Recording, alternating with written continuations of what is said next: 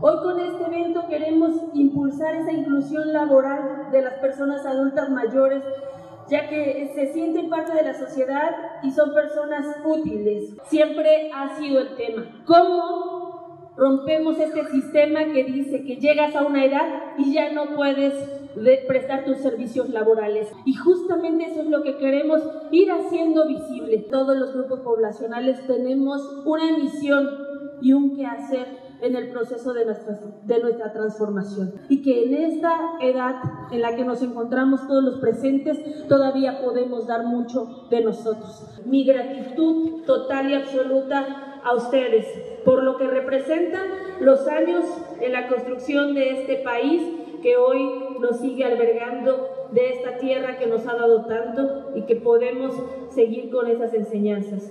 Enhorabuena por Puebla y enhorabuena por el año que viene mejor para todas ustedes.